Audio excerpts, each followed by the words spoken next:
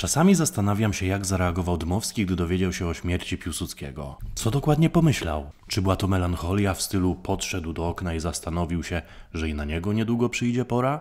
Może przemyślenia, że po co nam były te wszystkie spory, skoro wobec śmierci wszyscy jesteśmy bezsilni? A może było tak, wiecie, po naszemu. Dmowski usiadł i sam do siebie nieśmiało powiedział. I bardzo kurwa dobrze.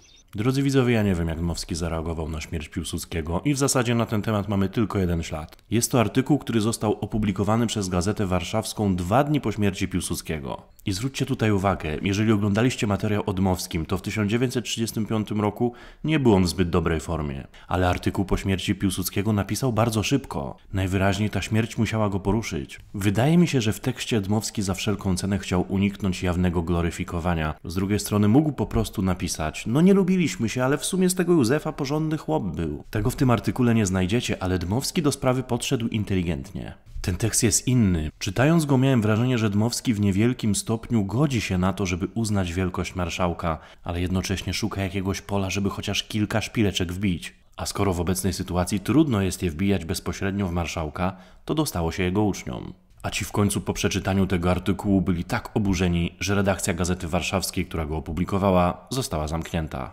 Posłuchajmy zatem, co dokładnie Dmowski napisał.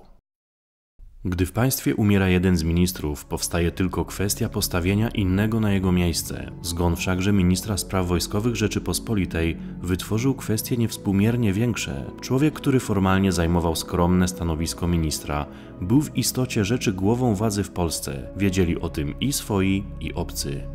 Każdy cudzoziemiec interesujący się cokolwiek polityką na pytanie, kto rządzi w Polsce, odpowiada Piłsudski.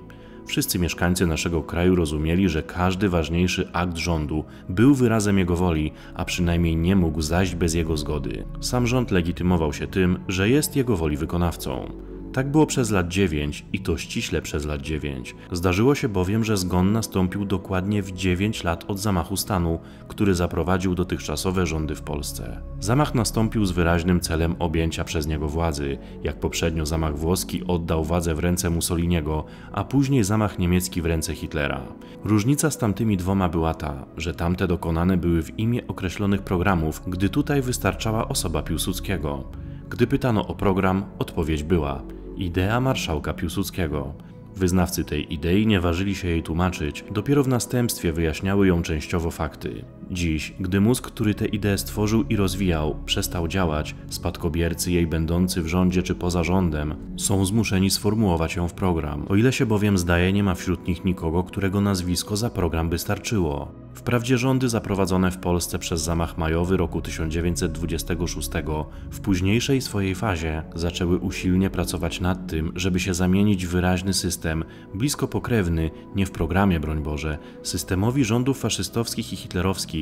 Nie wiadomo wszakże, czy autorzy tej pracy zdali sobie dostatecznie sprawę z jednej konsekwencji tego pokrewieństwa. Mianowicie jest to system, który może przetrwać tylko w oparciu o centralną postać, stanowiącą źródło władzy. W braku jej żadna sztuczna formuła tego źródła nie zastąpi. Musi ono wynikać z istoty społeczeństwa, z jego budowy. Zastępował je rządom Polski przez ostatnie 9 lat zmarły. Dlaczego? Niepodobna się dziś nad tym zastanawiać. Niepodobna rozpisywać się o jego życiu i czynach, o jego umyśle i charakterze, bo przez pewien czas po swej śmierci będzie on zbyt żywym dla swych zwolenników i przeciwników, ażeby mogli z potrzebnym spokojem o nim mówić. Trzeba stwierdzić tylko fakt, że rola, którą odegrał, wytwarza z chwilą jego śmierci pierwszorzędnej wagi sytuację polityczną. Trzeba nie być Polakiem, żeby tę sytuację obojętnie obserwować. A na koniec ciekawostka dla wytrwałych. Artykuł Dmowskiego o Piłsudskim znalazłem w publikacji Roman Dmowski w świetle listów i wspomnień. To setki stron ważnych materiałów źródłowych do badań nad jego życiorysem.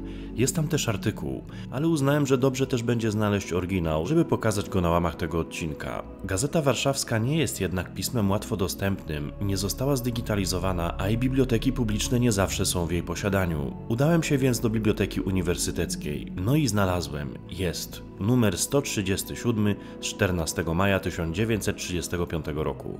Tekst Dmowskiego powinien być na pierwszej stronie, no i nie ma. Zamiast artykułu jest pusta kolumna. Dlaczego?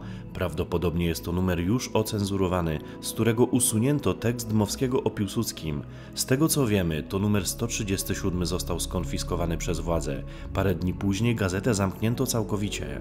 Ten egzemplarz gazety, numer 137, który widzicie, choć już ocenzurowany, to wyjątkowa pozycja, bardzo wiele nam mówi o ówczesnych realiach politycznych w Polsce przedwojennej. Ten egzemplarz jest tak rzadki, że nawet działacze Gazety Warszawskiej już wiele lat po wojnie nie potrafili akurat tego numeru namierzyć w bibliotekach publicznych. Władza sanacji niemal wykreśliła go z historii.